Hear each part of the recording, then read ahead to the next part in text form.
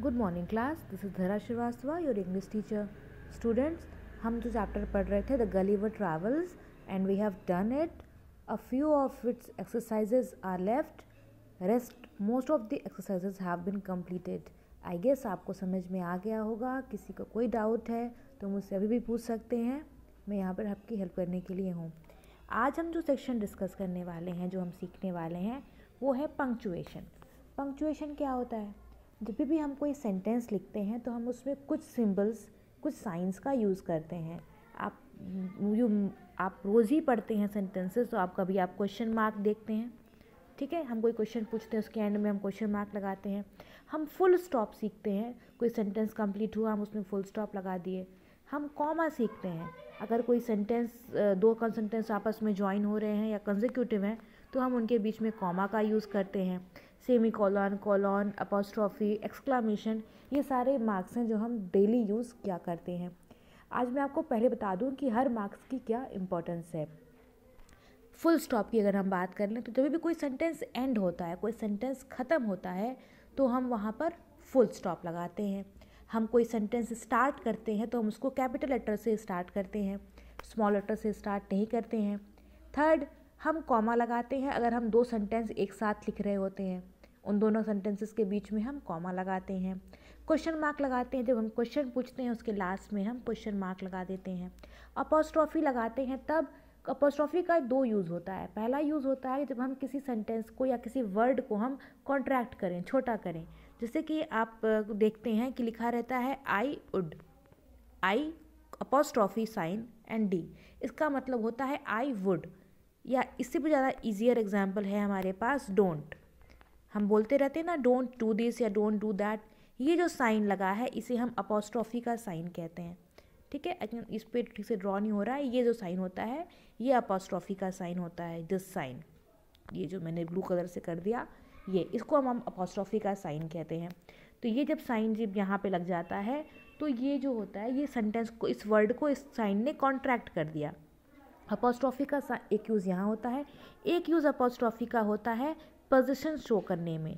जब कोई सामान किसी व्यक्ति के द्वारा ओन किया जाता है या किसी व्यक्ति का होता है तो उस व्यक्ति का वो सामान है, ये जब हम बताते हैं किसी सेंटेंस में तो हम अपोस्ट्रॉफी का यूज़ करते हैं। जैसे हम बोल दें कि this is my sister's dog my sister's sister's S I S T E R apostrophe S sister's मतलब सिस्टर का डॉग मेरी सिस्टर का डॉग है।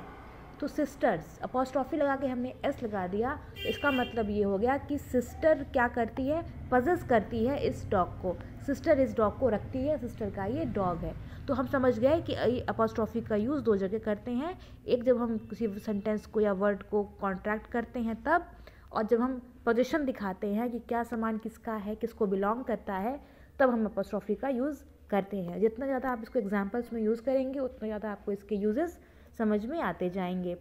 सो so देखिए, हमारे सामने एक लेटर का पोर्शन दे रखा है यहाँ पर। इसको पढ़ते हैं, ठीक? डियर समीर कॉमा लगा दिया है।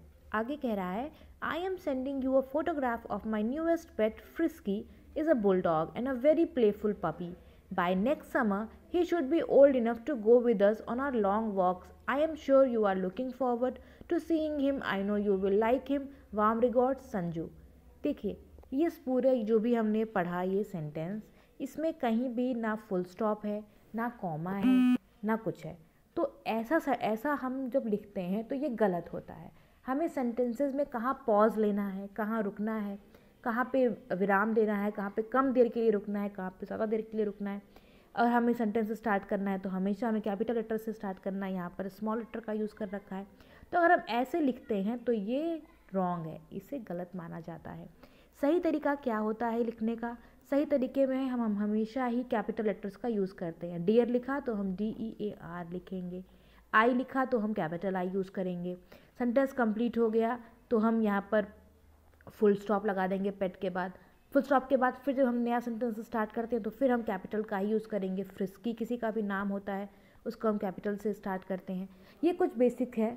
जो कि मैं आपको भी इस, इसका सही फॉर्म में एग्ज़ाम्पल लिख करके आपको दिखा दूँगी कि आपको कहाँ पे क्या लगाना है कहाँ पे क्या आपको मार्क पंक्चुएशन मार्क यूज़ करना है। वैसे ही जब आप समझ जाएँगे तो फिर आपको सिक्स जो सेक्शन है ये भी दिख रहा है।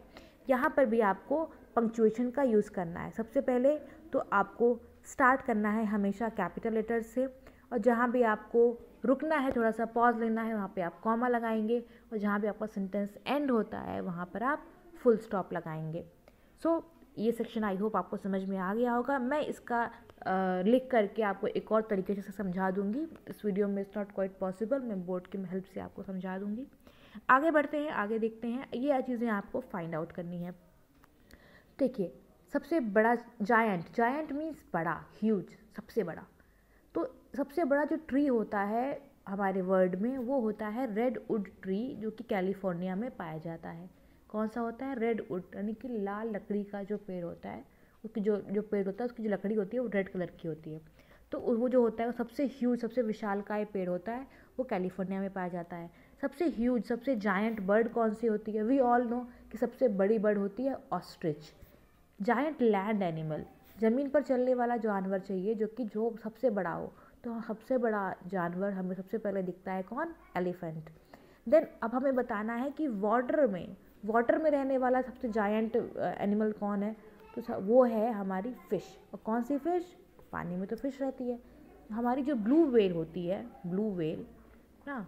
ब्लू वेल हमारी जो होती है, वो सबसे ज़्यादा लार्जेस्ट होती है इनसाइड द वाटर वैसे ही आप देखिए अ जाइंट रेप्टाइल रेप्टाइल मतलब जो जानवर होते हैं, जो कि रेंगते हैं या चलते हैं क्रॉल करते हैं बेसिकली उन्हें क्रीपिंग को हम रेप्टाइल्स कहते हैं. तो सबसे बड़ा रेप्टाइल जो होता है, देखिए रेप्टाइल्स की जो फैमिली होती है, जो ग्रुप होता है, उसमें कई सारे एनिमल्स आते हैं। जैसे आपकी लिजर्ड आती है स्नेक आता है तो कैमेमिलियन आता है। ये सारे एनिमल्स जो होते हैं, वो लिजर्ड की कैटेगरी में आते हैं और इन्हीं में आते हैं क्रोकोडाइल और एलिगेटर्स भी, ठीक है? तो सबसे जायंट रेप्टाइल जो होता है, वो क्रोकोडाइल होता है। फिर आ गया जायंट एरोप्लेन सबसे बड़ा एरोप्लेन कौन सा है? ये आपका टास्क है, ये आप गूगल की हेल्प से या अपने पेरेंट्स की हेल्प से ये you have to find out ये आपका टास्क है। ना अब आगे बढ़ते हैं और देखते हैं हमें राइटिंग सेक्शन में हमें क्या लिखना है। हमें सबसे, देखिए यहाँ पर लिख रखा है कि you woke up one morning आप एक सुबह उठे and found yourself in the land of dwarfs और जब आप उठे तो आपने खुद को कहाँ पाया? आपने पाया कि आप जो है वो डॉफ्स यानी जो बौने लोग होते हैं जिनकी हाइट दो फीट या ढाई फीट ही रहती है आप उनके देश में आप पहुँच गए हैं। Write a paragraph describing your experience there and how you got back home finally आपको लिखना है एक पैराग्राफ कि अगर आप उनके लैंड में पहुँच गए, आप ऐसी जगह पहुँच गए जहाँ पर हर एक चीज़, हर एक लोग आपसे छोटे हैं, आपसे बहुत बहुत बहुत छोटे हैं। आप अगर ऐसी जगह पर पहुँच गए तो आप क्या करेंगे? आप कैसे खाएँगे? उनकी प्लेट बहुत छोटी होगी। आपको बड़ी प्लेट में खाने की आदत है, उनके बेड बहुत छोटे छोटे होंगे, उनके घर छोटे छोटे होंगे, आप कैसे रहेंगे, ये सारे एक्सपीरियंसेस आप इस पैराग्राफ में लिख करके मुझे ज़रूर दिखाएँगे। ना ही उसके साथ ही हमारा चैप्टर फिनिश होता है, ये करके आप मुझे work as soon as possible दिखा देंगे। कोई भी डाउट है स्टिल आपको इस चैप्टर में आप मुझसे पूछ सकते हैं, कुछ भी समझ में नहीं आ रहा है I am ready to help this punctuation के लिए मैं एक अनदर वीडियो बनाने वाली हूँ, आपको दिखाऊँगी, आप उसके अकॉर्डिंग ये सॉल्व करेंगे और पंक्चुएशंस का सही इस्तेमाल राइटिंग में ज़रूर करेंगे okay so this is all for today next class में फिर मिलते हैं। तब तक अपने घर पे रहिए, पढ़ते रहिए वर्क टाइम पे कंप्लीट करिए। कोई डाउट हो तो मुझसे पूछते रहिए। Thank you class